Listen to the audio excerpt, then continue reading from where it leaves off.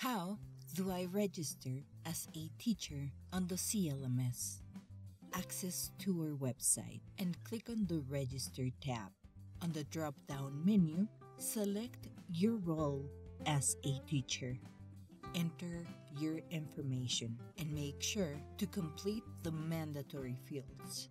Read and accept the terms and conditions. Click on Register. A verification link will be sent to the email account you register with.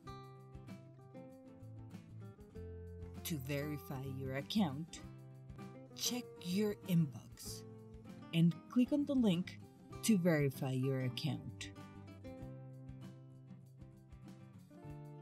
If you cannot find the verification email, check your spam folder or junk.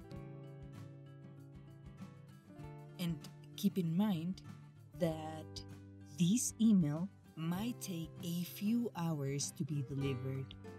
Log into the platform and you are ready to start teaching.